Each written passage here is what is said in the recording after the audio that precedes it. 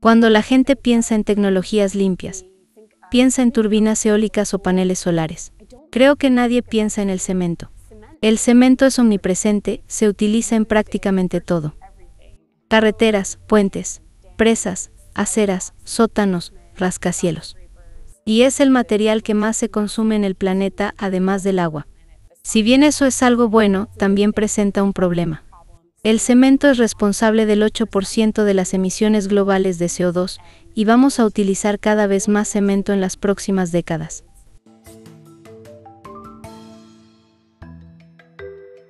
El cemento se ha utilizado durante miles de años, pero fabricar la versión moderna genera enormes cantidades de emisiones de gases de efecto invernadero, lo que pone en peligro los objetivos climáticos globales. Ahora los innovadores compiten por una solución para descarbonizar la base de la construcción en el mundo. Sublime Systems es una startup que desarrolla nueva tecnología para fabricar cemento con bajas emisiones de carbono, elaborado sin combustibles fósiles y sin piedra caliza.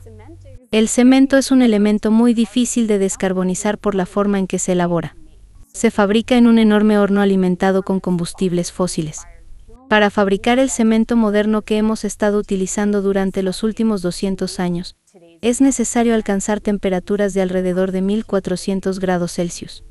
El ingrediente principal del cemento se llama piedra caliza, que representa aproximadamente la mitad de la huella de CO2 del cemento. Entonces, lo que hacemos en Sublime Systems es utilizar un enfoque electroquímico que extrae calcio de los minerales a temperatura ambiente y puede producir cemento sin las altas temperaturas necesarias para descomponer la piedra caliza. Este proceso nos permite evitar el uso de piedra caliza directamente. Hay varios minerales ricos en calcio que podemos procesar electroquímicamente y convertir en un polvo de cemento, este polvo se utiliza para fabricar el mismo tipo de hormigón endurecido que hemos estado utilizando durante miles de años. El cemento Sublime está diseñado para ser un reemplazo funcional y práctico del cemento Portland. Se presenta en forma de polvo, al igual que el cemento Portland actual.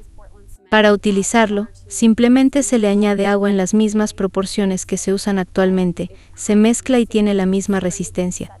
Tiempo de fraguado, fluidez y durabilidad que el cemento que se usa en la actualidad.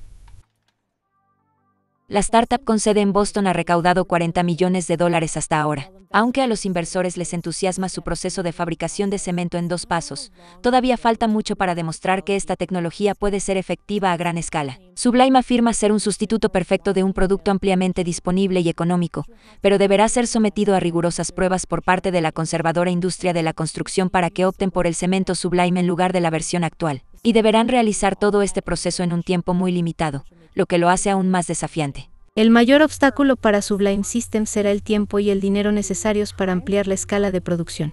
Medimos nuestro impacto en función de la cantidad de cemento producido y vendido, reemplazando la versión intensiva en carbono que se encuentra en el mercado actualmente.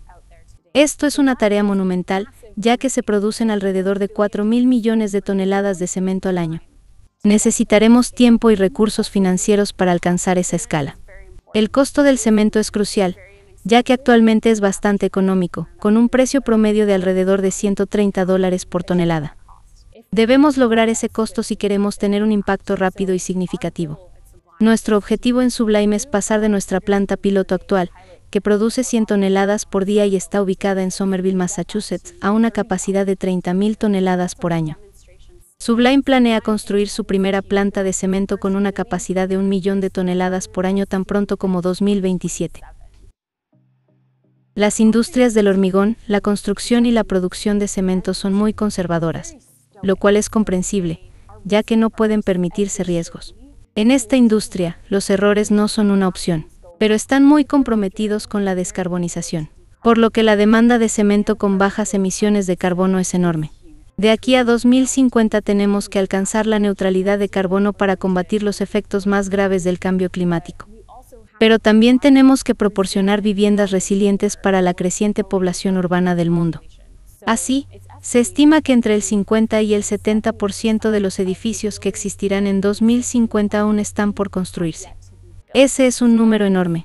Significa que la cantidad de espacio construido en la Tierra probablemente se duplicará de aquí a 2050. Así que es necesario desarrollar una nueva forma de producir cemento. No hacemos esto porque sea fácil lo hacemos porque es difícil, y es importante y urgente.